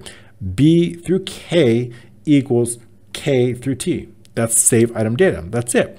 And then what we're going to do is we're going to update that list. I want to update in case I've made any changes to the name want, or the on hand. I want to update this list accordingly. And this shouldn't happen. Notice that, that when I selected more cells, something happened. I don't want that to happen. If I select one, fine. But if I select multiple, I don't want anything to happen. I don't want that to happen. So how do we avoid that? Well, that's easy in the selection change event. So we're going to go into the BOM assembly. The first thing we're going to do on selection change if target dot, let's do count large, is greater than one, then exit sub. So now if I select on more than one, nothing happens. And that's what I want. Okay. All right. Very good. So we've got that. So we understand how we're saving it. Now that we understand this, we can hide these. So we see that database. So now I can, I can hide it. Go back to hiding it so that you're getting lots of practice on how to hide the data in these columns with using those semicolons. Okay, so now that we have that, so we understand how to save it, we understand, let's take a look at the next macro because we've already just fixed on that save and update, and we're gonna let the user know through a message box. The next one's load. Now we saw that.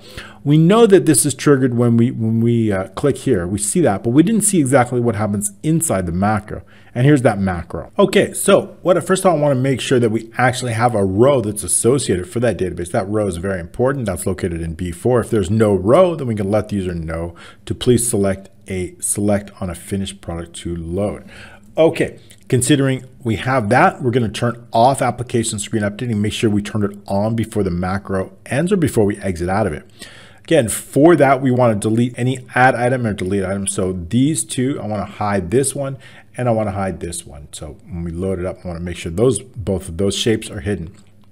We're going to clear out a bunch of cells, just all the fields associated with it. Certainly not, but make sure we don't clear out the, anything that has formula attached to it. And then what we want to do is I want to set that product row in a long variable from B4. We're going to run a macro from part 2 to 7, and we're going to bring in that information. Now, it's very important.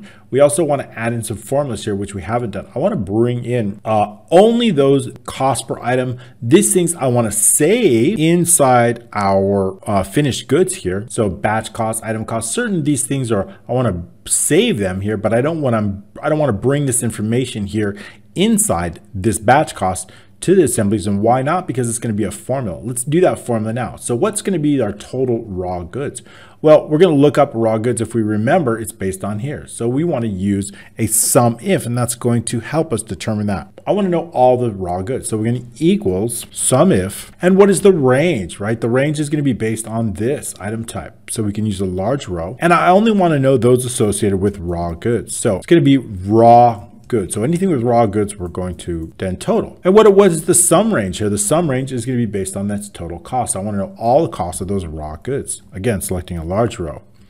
And that is it. That's all we need to determine the raw goods. Now we're going to do the same thing, but it's going to be other costs. So I'm just going to copy this and I'm going to go down here and I'm going to paste it. And all I need to do now is change it from uh, raw goods. This one's going to be called other costs. So, and then lastly, I want to do the finished goods. So this one, if I add one in here, let's just update that. I'm going to put in a finished good so that we can make sure that it is totaling right and everything looks like, okay, we're going to have some blueberry muffins with our chocolate cake. Uh, that's, I always like that. Okay. So now what we have is something called finished goods. So I want to make sure that this one's is going to be called not raw goods, but finished goods.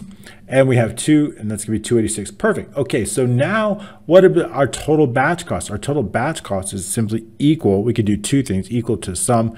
We could just do this total cost regardless of type and then just use a large row. That's our total batch cost. So we have 112 for that batch.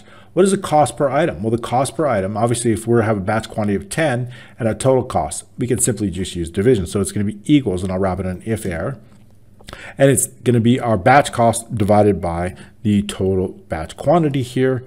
And then that's it. And then all we need to do is just if there's an error, just do this. Okay, that looks good. And then we're gonna, that's going to determine, so our cost per item is 1123. Well, and we're going to sell it for 28.99. What's our profit per item? Well, our profit per item is simply equal to the sales price minus the cost per item. Subtract out that cost per item we know that we have that profit. But what about our, our profit percentage problem? That's going to be a percentage, so make sure that we select percentage. So what is the formula? Okay, again, we're also going to wrap that on if error in case there's an error. So equals if error, and then it is simply going to be J7 divided by H7 and what is an H7. So that's sales price. All right, if there's an error, we're going to do, okay, so that means our profit percentage is 61%. And as you can see, our profit is more than 50%. If our sale price is 28 and our profit is 1776, we see our profit's 61%. Okay, very good. I like that. I'm just going to justify these to the left so that we know that they're associated with that. And all right, this one looks good. These are good. I like that. These are should be formatted the same, both in accounting or currency, either one, keeping them equal. Everything looks good. So the idea is when we are loading it, we don't want, we don't want to upset these formulas, right? I want to save this information in the database, but I don't want to bring it back in. So none of this information. And that is why when we are loading and we're only going up to column seven, right? Let's take a look inside the finished goods so you can understand what I mean. So if we see here, we see that we have the sales price in the picture and the batch cost, but the batch cost is column eight. So we column, we're not going to that. The last column is the picture that we're going to. So that's the last thing I want to say. I don't want to load in this information here. These are all calculated fields. That's why they're all at the end. I put all my calculated fields at the end. So that's it. So it's just going to load in all these items. So basically when we load it, all we're taking is this and putting it in H4, taking in this and putting in L4 and so on and so forth. So now that we have that, that's how we're going to loop. Okay, next up, what I want to do is I want to load the quantity on hand. That's the last thing inside N4 is going to take on that quantity on hand. N4 will take that on. Now that we have that quantity on hand inside there, the next step is to be able to focus on those BOM items, right? So inside those items, I want to determine the last row. We've already loaded and I want to load these in. How do we know what items are associated? Well, we know the product ID. So I want to bring in all the items that are associated with this product ID. If you look inside the BOM items, we, if we know the product ID and we've linked it here, BOM assemblies B3, then I can simply load in all of the items that are associated with that BOM and bring them directly inside here. And that's just what we're going to be doing through an advanced filter. We're going to focus on those items. If it's last row, we're going to exit the sub. We don't know if it's less than four, no reason to. To continue, we're going to run that advanced filter. We're going to go all the way through column L. That's our last row. So we're going to go all the way from a3 through L. The criteria is going to be Q2 through Q3, and the results are going to come directly inside T2 all the way through AD. So we want those results to come here. And that's just what we've done inside this line of code here, determining the last results row. If it's less than three, we're going to go to no items. We're going to set the initial item row to 11. This is where our first row is going to go. I want that first row here. Okay, so we can do that. Now we're going to run a loop for the result row equals 3 to the last result row. And just line by line, I'm bringing in, and I'm not upsetting the total, keeping the total here. So The first thing we're going to do is we're going to do it in two parts. Inside that BOM items, I'm going to bring the name all the way up to the purchase cost here, and then item and ID. We're skipping AB because we don't really need that. That doesn't necessarily need to be. So I'm just going to bring it all the way from T through AA and then AC and AD. So bringing that information into the individual row all the way from K through R and then T and U, skipping S because it's automatically calculated. And that's what we do here in these two lines of code. K through R is going to come T through AA, bring over the item details. And lastly, T through U equals AC through AD. So AC through AD right in here, uh, AC through AD, and then all the way up to AA, skipping AB. Okay, so that's how we bring in all the item rows. Perfect. Okay, next up we have delete. What if I want to delete an individual? Deleting a BOM, how do we do that? That's going to be the macro that we've tied to this one. And that's simply, we're going to first ask them, are you sure you want to delete? When I click this, are you sure you want to delete this finished product? If they say no, we're going to exit the sub. We're going to determine is B4 saved or not. For example, if I've added a new item and I've started typing in something here and I decide to delete it, uh, there's has not been saved. B4 is empty. So if we say yes, it simply just clears it out and reloads the list. Very good. So we can skip to not saved if it hasn't been saved, going all the way down to here to not saved. If it has been saved, B4 does have a value. I want to determine that product row inside B5, that product row. Okay, that product row is going to be in B4, and that's called the product row. And then what we want to do is delete it from our finished goods, deleting that entire product. I also want to delete the BOM items, all the items that are associated here. Again, we need to run an advanced filter. Let's pull something up with some data, chocolate cake one of my favorites. So we're going to run an advanced filter. All the results are going to come here, and then I'm going to determine the sort by a database row. Well, we don't need to sort. Clearing the contents of each one of those and then resorting this list.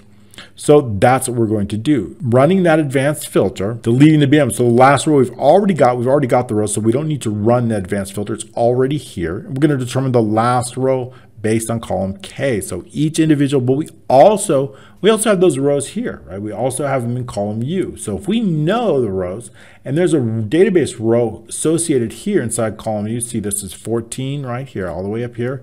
This is 15. If we double click, we can see it, the value. So we know, if we know the database rows here, I know which row to clear out. So we can loop.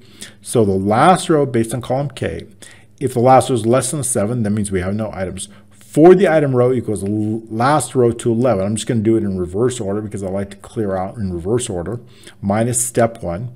And then what we're going to be doing is we're going to delete the entire rows in reverse order. Another way we can do it is clear the contents and then resort the list. But we're just deleting them in reverse order here. And that's it. Then we're going to add the new BOM and then restore the product list.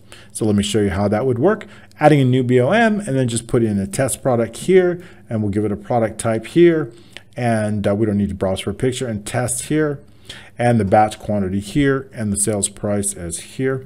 Okay, so we can add another idea here. So adding the chocolate cake here to that, please select the item quantity. Oops, it's important. Okay, so we can save it. And now what we're going to do is we're going to delete it. So deleting it, you sure you want to delete this? Yes. Then it's going to clear everything out. It's going to remove it from here and now we see that it is gone. If we take a look in the BOM items, we see that there's no item associated with that here. And if we take a look inside the finished goods, here we see that there's no so it's already been deleted. Okay, so that's on delete. Very cool. Now, what about item browse for picture? Remember, we had to browse for picture. If we have a new item, I want to be able to browse for that picture and locate that picture wherever it is. If we have got a list of pictures up here and then here and then this one here. So I've got some pictures here. If I want to add a, some bananas here, and I can add a picture. So there's a macro, that's the macro that's already tied to this. Uh, we're going to determine the item picture as a file dialog. We're going to set the picture folder value equal to empty. If it is empty, that picture folder that's in the admin screen, or it's incorrect, we're going to let the user know to please select a folder for the item to add. Okay, Picture folder, we're going to set the variable, string variable, picture folder equals picture folder. The item pick is going to be application file dialog file picker. With the item picture, we're going to set the title. Please select an item picture. We're going to give it some filters. These are the type of pictures. If they haven't selected anything, we're going to go to no selection. We're going to set the picture path based on the picture folder and the directory, right? That's important.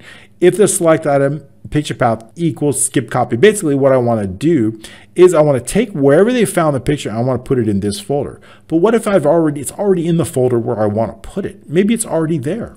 So in that case, I don't want to create an error. If the original place that you found the picture equals the same as where you want to put it, then we don't need to copy it to that location. We can skip it. However, if it is not, we can use file copy, its original location. We're going to copy it to the picture folder and the directory of the select item. This basically means the picture name, like bananas.png. That's the picture name. Okay, then what we're going to do is I'm going to take that name and I want to put it into P4 right here. Okay, great. So that's all. And then I want to run a macro called show picture. With show picture, that's a macro right here. All we're going to do is deleting any existing picture that might be there. And then if P4 equals empty, that's where the picture name is, we can exit the sub. We're going to get the full picture path. It's going to be based on the picture folder, a backslash, and P4. That's the full path. If for some reason the picture equals empty or it's incorrect, we can exit the sub out, or maybe just a period. We're going to insert the picture path. We're going to give it a very specific name called product picture. And then we're going to position that. If the width is greater than the height, we're going to set the width to 80 and the height to 55. We could probably reduce that a little bit here to 70. And we can run that again. So how do we do that? So we can just basically lock in the aspect ratio to make sure it is given that we don't change the ratio of that. And we also want to make sure to set the left position based on the R for the left position and the top position. And then basically I want to just split the width of the columns R through S. I'm going to take the width of those columns. I want to subtract the width of the picture and divide it by 2. That's going to center it. I'm going to do the thing, same thing for the top. We're going to take the height of rows 4 through 7. We're going to subtract the height of the picture and divide that by 2. We're adding that to the top position. That's going to display the picture. Okay, very, very cool. Well, I don't want to get this training too long. We did cover awesome. We did cover this whole thing. So now we want to go, I want to go over a brief overview, and then what we'll do is we're going to get that continuation on the Patreon platform, right? So here we have the BOM assemblies. This application is just too large for a single training. Obviously, multi-parts don't really work. I want to do something brand new next week. So we've shown you this delete. We've added add items here. What else do we have in this incredible training? We've got work orders. If I take a look at work orders, I had a brand new work order. We just created a brand new product, but what if I want to add those products to that? Let's say I want to add a blueberry muffin to that. I want to add the full batch of that muffin. So we can add the individual item cost. We can add that. I want to show you, of course, I want to show you how to do that, how to add that. I want to uh, show you how to add purchase orders. How do we create purchase orders? How do we calculate the quantity on hand once we've purchased something? What about the status? What does that have to do with it?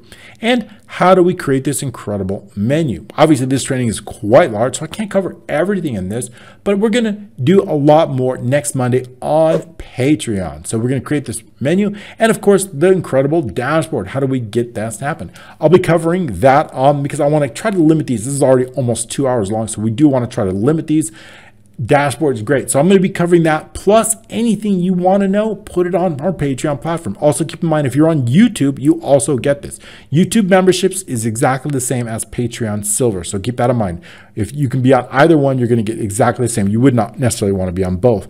So YouTube Silver or Patreon uh, Silver and Gold, both of those get all these values and we're going to be doing a lot more on this. And I'll be covering the remainder of this training on that platform. Let me know what you think. Did you like this video? Did you like training? You see how BOM assemblies can be super powerful when we do that. Let's go ahead and add this. We want to do an if error. If there's no data in here, add that on if error. So we don't need that.